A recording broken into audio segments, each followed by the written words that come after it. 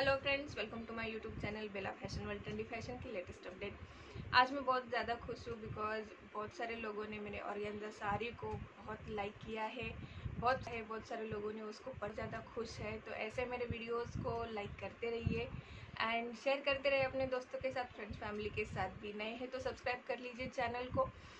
आज मैं आपके लिए लेके आई हूँ चुनरी साड़ीज़ का कलेक्शन उससे पहले मैं आप सभी को नवरात्रि की हार्दिक हार्दिक शुभकामनाएँ देना चाहती हूँ और नवरात्रि के इस पावन अवसर पे मैं आपके लिए लेके आई हूँ चुनरी साड़ीज़ का कलेक्शन में।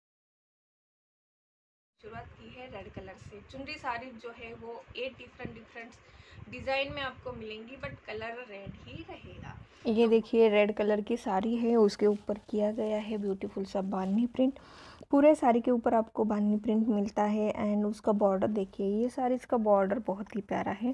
तो ये जो है वो लेस लगाया हुआ है लेस के ऊपर गोटा वर्क किया गया है एंड साथ ही साथ आपको मिलता है सुंदर सा ब्लाउज़ पीस भी। ब्लाउज़ पीस इसके साथ प्लेन है बट ब्लाउज़ पीस को भी जो बॉर्डर आता है स्लीव्स को, वो तो आपके सारे को मैचिंग आएगा ही आएगा। आप देखिए डिफरेंट डिफरेंट कलर्स है।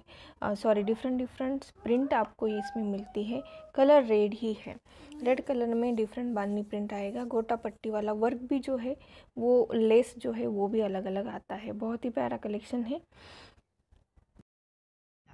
तो बहुत सुंदर कलेक्शन है गोटा पट्टी वाला वर्क मिलेगा जॉर्जेट वाली साड़ी है बाननी वाला जो है, वो प्रिंट आपको पूरे साड़ी पे मिलेगा। बहुत ही प्यारा कलेक्शन है, मिस मत कीजिए।